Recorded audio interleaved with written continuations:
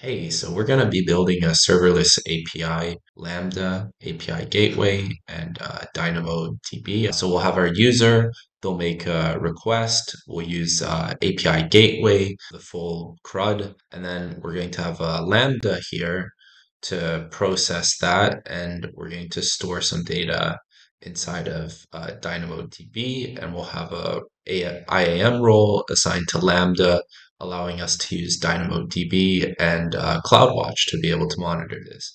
Uh, not too complex of uh, architecture we're going to be building, but very useful to be able to build your own serverless APIs. First thing we're going to be doing is building a new DynamoDB table. So let's go ahead and search DynamoDB. And there we go. And go ahead and click create table. So I'm going to make a table called uh, employee info partition key. So that's a primary key. So we need to make something here. So we'll make this employee ID. Sort key, we're not going to bother there. I'm going to leave this as is and just go ahead and click create table. Okay, now that we have our DynamoDB uh, created, we have our table, let's make a new Lambda. Right, so I'm in Lambda and we're going to go ahead and click create function. All right, so we're going to give our Lambda function a name. Uh, for runtime, we use Python. And then for the default execution role, we're going to create a new role. All right, so we'll have this role serverless API demo, which will add uh, access, full access to DynamoDB and full access to CloudWatch. All right, so that's all we really need here. You can go ahead and click create function. Right, so we have our Lambda function created. If you go down to code to this section here, click on configuration and go to permissions. And you see we have our role name here. So go ahead and click on that. All right, so it opens up that role and then we have the option here to add additional policies. So click on add permission and then click attach policies. So we're gonna search the ones we need like Dynamo, DB full access. So click that and we'll get CloudWatch logs full access. And then you can go ahead and click add permissions. So our policies have been successfully attached.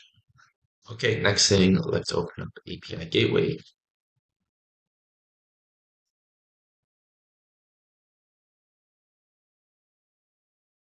All right, for this tutorial, we're going to be using uh, a REST API. So go ahead and click uh, build, click uh, new API. All right, so we're going to be creating a new REST API. So, uh, call it serverless demo. Description, I'll leave it blank. And then for endpoint, we're going to leave this as regional. And then go ahead and click create API. Okay, so now we're going to create some resources. First source we're going to name, it's going to be status and then make sure you check off this uh, CORS, this one, and then click create resource. All right, so we have our first, uh, first API resource, and we're going to create a method under it. All right, so we're going to do a get method. And then next thing we need to choose the Lambda. So you'll see under here, We'll see here we have our Lambda function API processing. So go ahead and select that. And then click Create Method.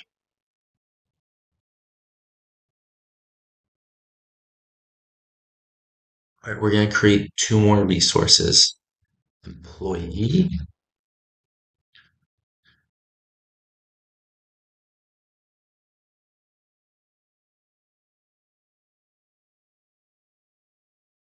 and we're going to create employees.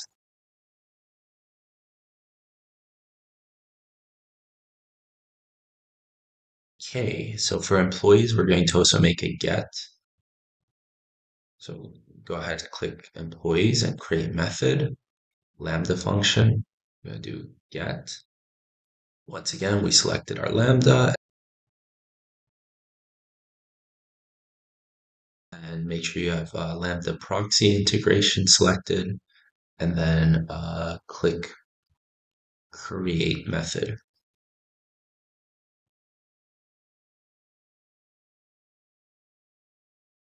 All right, so for employee, we're also going to create another uh, get.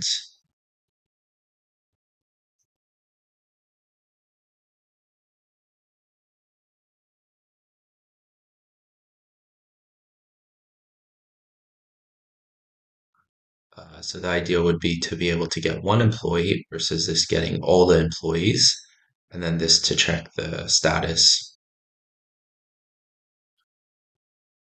All right, also under employee, we're going to add patch to update. So we may want to update an entry.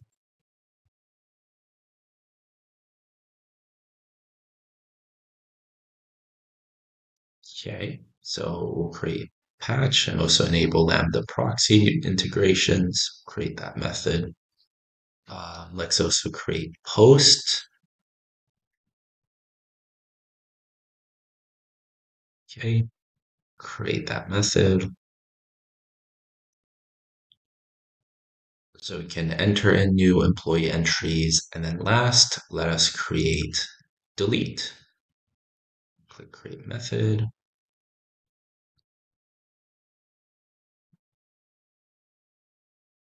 And create, click create method. All right, so for employee, we have delete, get, patch, and post. And then for getting all the employees, we just have only get under here. And then for status, we also only have get.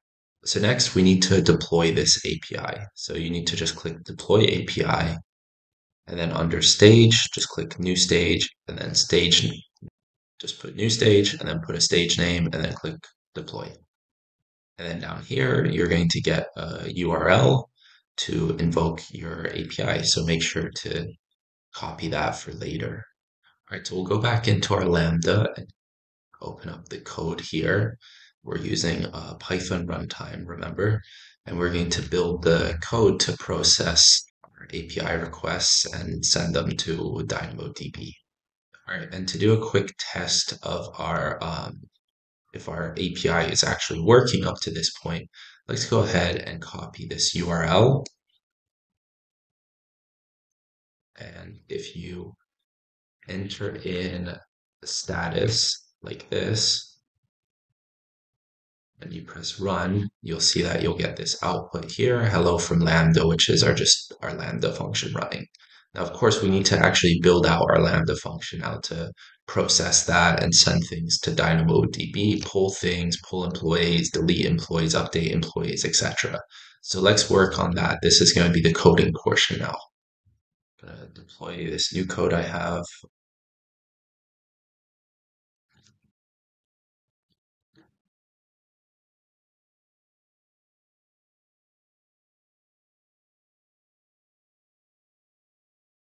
All right, so once you paste this code in, make sure to configure your test event and to just write test here or whatever and click save.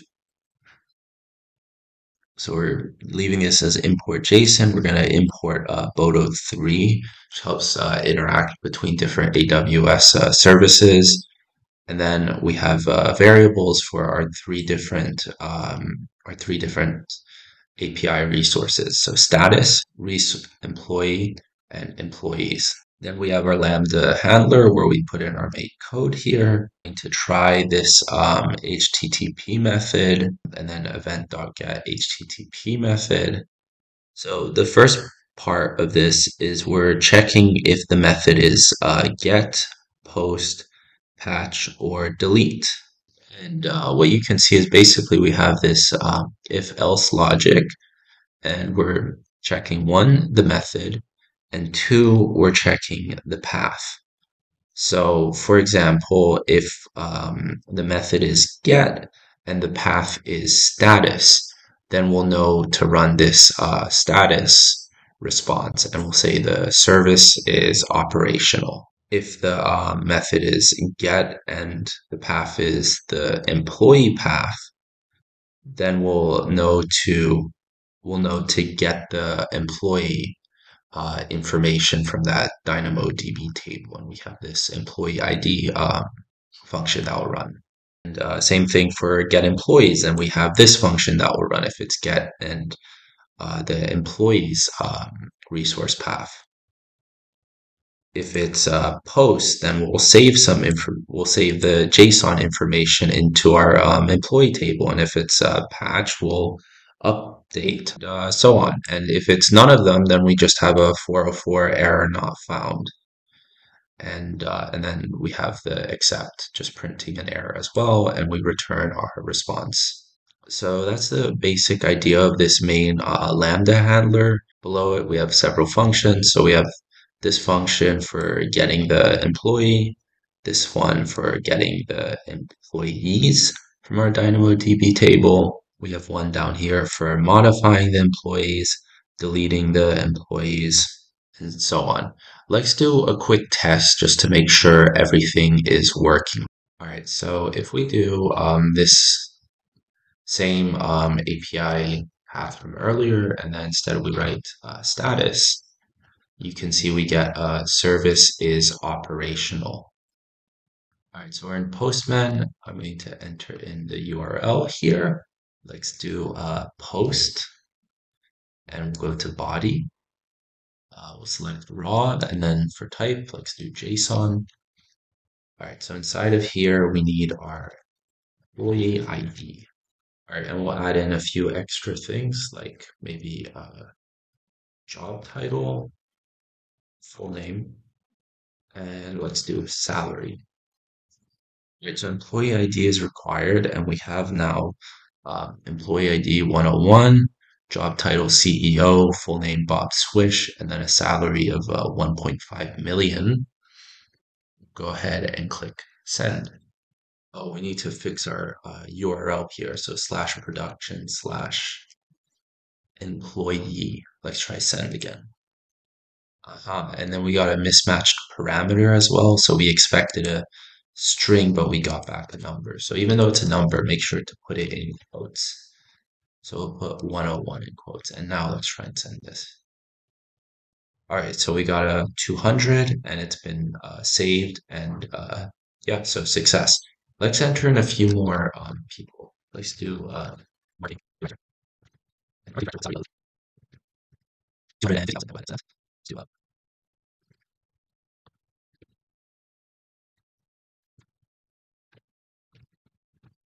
and we'll give me a salary of 350,000. Not my real salary, by the way, but I can put whatever I want here, though. Jason Bourne 2 with security with a salary of 80,000 and we'll send that. Okay, so we entered in a bunch of entries here and we got status code 200, so it looks like we're all good here. All right, so now let's go back to our DynamoDB.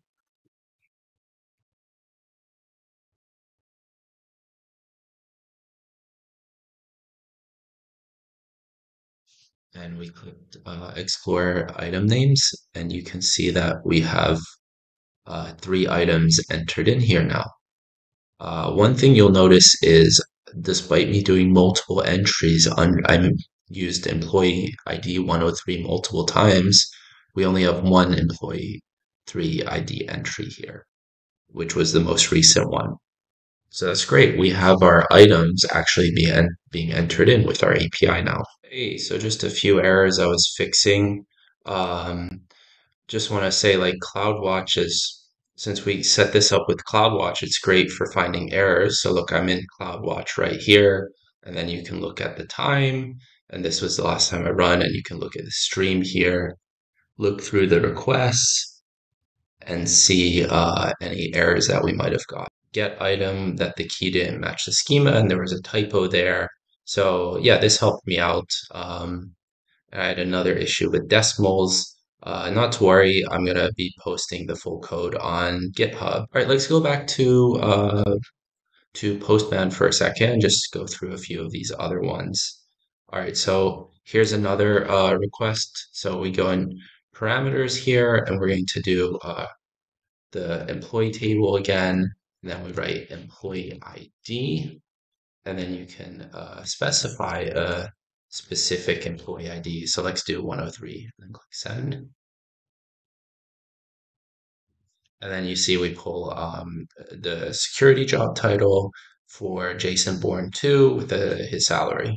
Employees, remember that resource. If we send that, you can see we get all of our entries here. Hey, so I was just having some issues with the del delete and um, patch, the update methods. Uh, it was just uh, some typos in my Lambda code, all good, that's all fixed. Um, so not to worry, corrected code will be on GitHub. So uh, yeah, let me just show you how to use those now. So last two uh, patch. So you can see we have our list down here, all of our um, all of our uh, employees, and um, typo it has to be a capital I for this part. Uh, so let's say um, we want to update the employee uh, 102. Uh, next, we need to have a uh, what's the update key. So you can see from our um, Lambda, it's expecting employee ID, update key, and then the update value here. So uh, in this case, say we want to update salary. And uh, next, we put the update value. Uh, so let's say there were some pay cuts, the company's struggling, so the new salary of the marketing director is maybe um, 140,000, let's say. So, oh, whoops, wrong method, of course, not employees, we employ, I mean, wrong uh, URL. So, so yeah, this is part of the employee resource. So we'll send that now. And there we go. So we updated the marketing director's salary now.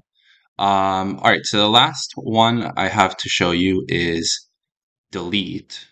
So uh, maybe uh, the marketing director got, got laid off. Um, in that case, all we have to do is inside of our uh, JSON, we just put the employee ID and then run this and you'll see right, right now uh, it's been deleted. So uh, if we go back to uh, get and we get all of our employees, you'll see that we only have one employee left, Jason Bourne, because I deleted the others. All right, so that's it. That's how you make a REST API using CRUD. Thanks for watching. Hope this helped you out. 拜拜。